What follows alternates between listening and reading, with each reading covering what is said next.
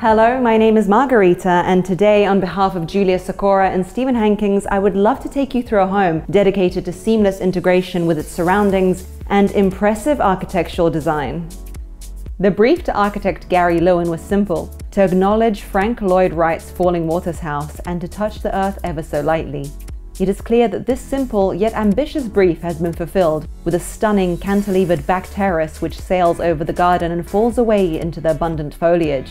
Elegance is a key word here, as the home impresses with organic lines and terraces which marry it to the outdoors beautifully. Observing perfect privacy, the residence spares no room when it comes to utilizing the light with windows carefully set in order to bring in maximum illumination throughout. Cross-cut travertine stone greets you on arrival as the ample corridor offers you entry to four large bedrooms and a possible fifth which also serves as a library. The master presents an opulent ensuite with an exquisite design. Meanwhile, all the bedrooms boast views of the tranquil gardens that surround the home. The windows throughout are Victorian ash with laminated plate glass, whilst the floors, which flow throughout the main living space, are solid blackbutt. The luxury touches don't end there, however. The kitchen island comes in shape of 318 marine-grade stainless steel, which wraps around a solid core with integrated sinks. What strikes me most is how well the space works with panorama of the rear garden and pool which is simply impossible to miss. I love the dramatic nature of this pool, how it overlooks the vistas below, but perhaps most extraordinary is the studio at the rear.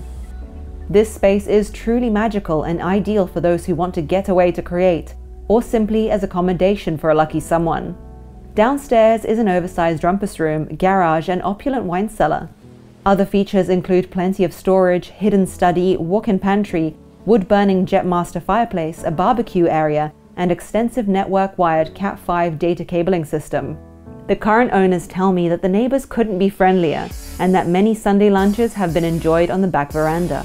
The area, needless to say, is highly sought after due to excellent schools and plenty of shops and cafes.